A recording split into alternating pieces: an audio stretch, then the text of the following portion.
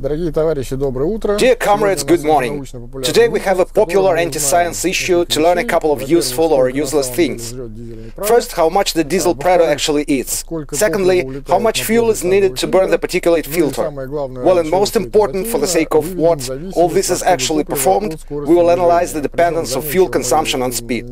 Moreover, I note we will derive a formula that is suitable for all cars with an internal combustion engine. So if you do not have a Prado, do not switch anyway.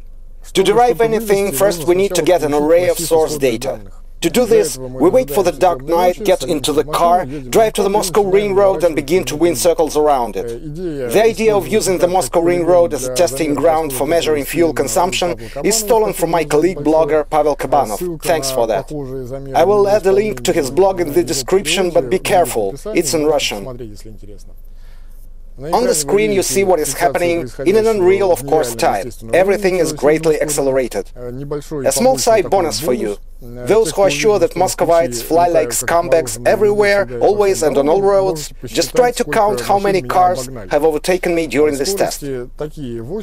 I have chosen three speeds for testing. 80 kilometers or almost 50 miles per hour will allow me to drive free of charge in the city. 110 kilometers or 68 miles per hour is the top speed for Russian country roads. And 118 kilometers or 73 miles per hour is the limit for Moscow Ring Road. The conditions are as the following. We make three full circles along the Moscow Ring Road with the same points of start and finish. Each circle we go on cruise control at its own speed. 80, 110, 118 or 50, 68 and 73 in miles respectively. We check the speed with a calibrated device and check the fuel consumption using a car's board computer. Oddly enough, but it shows accurate figures. The same car, the same weather and the same road we were going on the same fuel on one tank. The transmission and engine before the start of the experiment were completely warmed up. Therefore, the influence of cold oils is also excluded. A small interlude. While shooting this video, I faced some strange problems. I failed to complete the measurements during the first two rounds on Moscow Ring Road, as I finished in absolutely dead traffic jams due to serious accidents. Now you can see the picture. Please note, the time is 4 a.m. The third attempt ended more successfully. All the measurements were performed, as it turned out to drive all three laps on cruise control. Well, I only dumped it at the road repair sites, which in general is not significant. But on a circle at the lowest speed, my video register failed to record anything. And before starting at the highest speed, I forgot to turn on the camera, so the image of the speedometer doesn't appear immediately. Sorry for that. A couple of interesting side effects. Firstly, it turned out that the car odometer lies. Do not confuse the odometer with the speedometer. It counts mileage but not speed. Moreover, the line degree of the odometer readings depends on the speed. The faster you go, the less distance it shows compared to the real mileage. The difference is rather small, but nevertheless, it's quite noticeable. If you have any explanations for these mysterious facts, please share it in the comments below. Unfortunately, I can't find any reasonable explanation to it.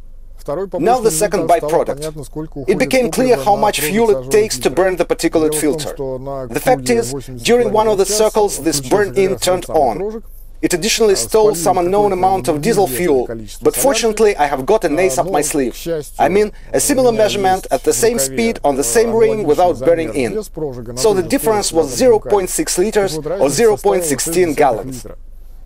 Simple arithmetic shows that if the burn-up occurs approximately once every 250 kilometers or 155 miles, the average operating fuel consumption for burning a particulate filter is approximately a quarter liter per 100 kilometers or 0.11 gallons per 100 miles. In general, it's not so scary, although not to say that nothing at all. Here we have the results. We put them on a chart. For AT, we put the one of the two results, which is without burning.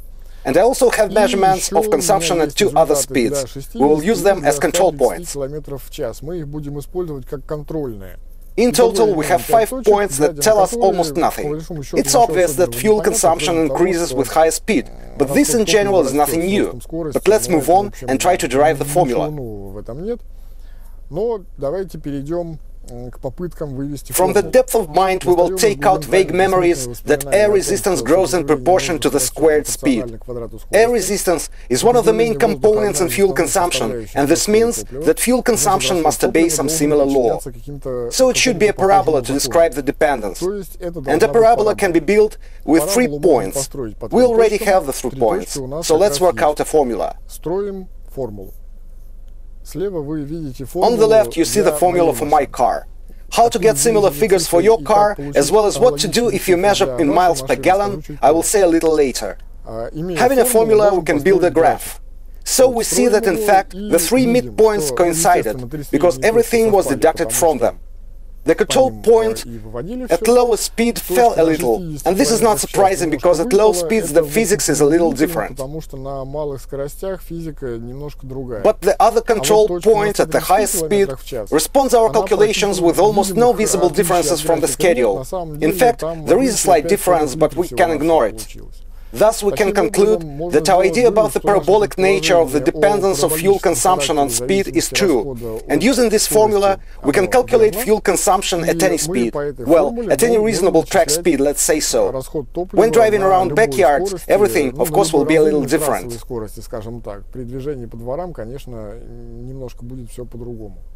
If this question prevents you from sitting still, there is a link to the Excel file in the description. You may conduct three measurements at different speeds, like I have done it, put the results into the file, and gain the formula for your own car and its appetite. This formula will allow you to enter the world of no limits, as you can calculate the predicted fuel consumption for other speeds of any kind. Well, for example, how much the car will eat if you accelerate it to 500 kilometers or 300 miles per hour. And now a small appendix for our comrades who live overseas. The fact is that there is a kind of Babylonian curse in the automotive world. Some of us measure the distance in meters and kilometers, the others prefer feet and miles. Some measure fuel consumption in liters per 100 kilometers, the others enjoy juggling with miles per gallon. And so the given Excel file is completely useless for those of you who live in a different coordinate system. Therefore, especially for you, I took courage to make the second version of the file, with speed measured in miles per hour and fuel consumption in miles per gallon. Moreover, I hired a math PhD to recalculate my measurements in units you know better. It turned out that we have speeds of 50, 68 and 73 miles per hour, and the consumption respectively at these speeds is 44, 31 and 27 and 7 tenths miles run on a gallon of fuel.